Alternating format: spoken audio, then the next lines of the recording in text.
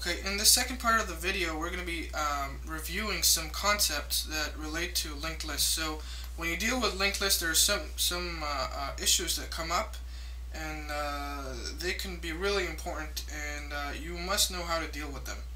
So these are things that you want to keep in mind when you deal with linked lists. Uh, we're going to be going over them very quickly. We have about five minutes for four issues here. Um, I'm just going to scratch the surface. If you guys, I mean, I expect that you guys know a lot about it already and it's just for review that I'm putting it up.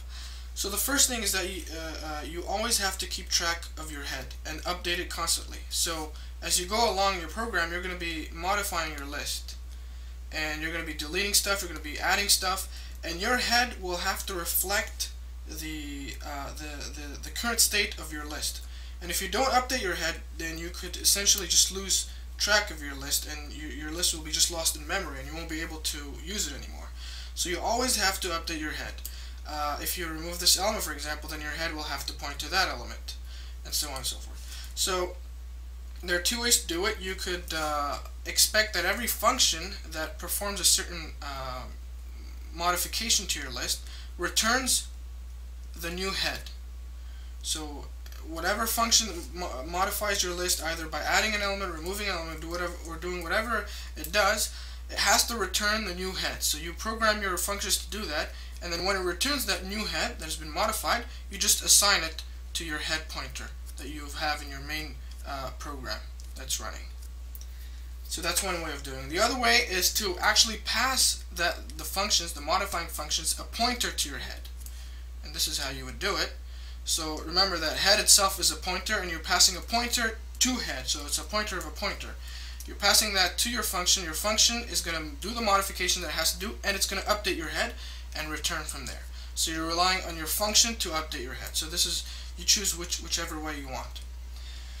The second issue that comes up is, uh, is something that you'll see when you traverse a, a, a list and you're going to have to make sure that you check for the end of list. If you don't check for the end of list, then you might have a runtime error. So this is your list, for example, and you're traversing your list, so you're performing some operations on every element of the list. And if you don't check for the last element, then you will carry on and go on, and then you'll reach null, you'll perform your operation on null, and you'll have an error.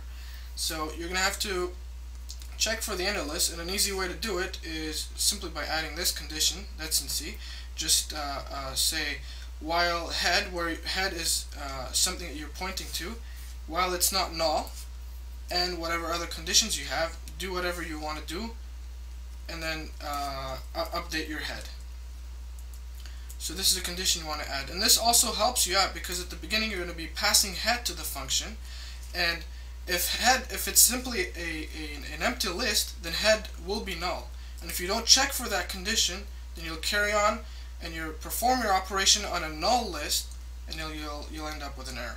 So this is a very important condition to put at the end, at the beginning of, of whatever operation you're performing. The third element is inserting and deleting. When you're going to be inserting and delete, deleting elements from your list, you have to handle two cases. First, there's a special case for the head. If you're going to be deleting the head element, then you're going to have to update the head pointer, like we said. So this is a special case, and you're going to have to handle it at the beginning of your uh, uh, function that inserts or deletes elements. Uh, this is one thing you want to keep keep in mind. And the second thing is um, when you're going to, for example, when you delete an element, you're going to have to modify this pointer. But how are you going to reach this if it's a singly linked list?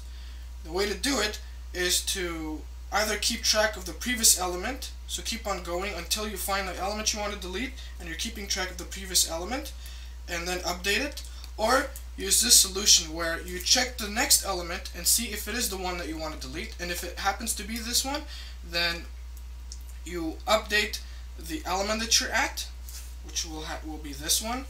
You update its next pointer to point at this one and then you delete the element that you want to delete and then finally when you want to free an entire list or delete an entire list there is something that comes to uh, uh, there's something that there's a problem here because you can't really delete an element and then try to move on to the next one because you won't have the next pointer. And the way to deal with this is to always use two pointers. So whenever you want to delete an entire list you always have to use two pointers. One to delete the element and one to keep track of the next element that you'll be deleting